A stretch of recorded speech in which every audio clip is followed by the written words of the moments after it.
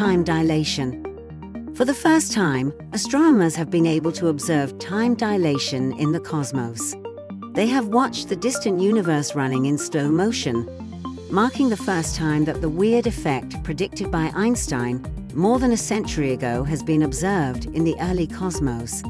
Time dilation refers to the seemingly odd fact that time passes at different rates for different observers, depending on their relative motion or positions in a gravitational field.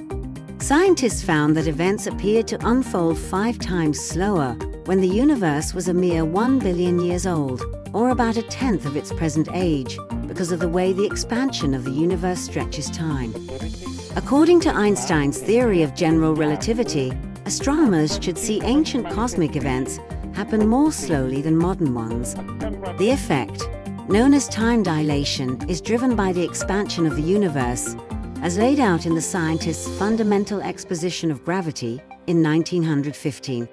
Depending on an observer's relative motion or their position within a gravitational field, one observer would experience time passing at a different rate than that of another observer. The theory of relativity has two parts, special relativity and general relativity, and time dilation features in both. Time dilation also means that the faster you travel through space, the slower you travel through time. This is another way of saying you can never travel faster than the speed of light. Astronomers have previously seen stars explode in slow motion, with the flash and fade unfolding at roughly half normal speed, from when the universe was half its present age. But attempts to see time dilation in the very early cosmos by observing extremely bright, distant galaxies called quasars had failed to find the effect.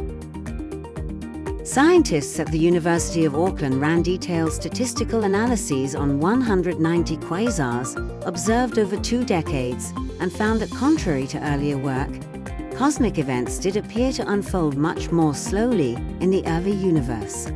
The finding supports Albert Einstein's general theory of relativity, which suggests that the distant universe moved much more slowly in the past.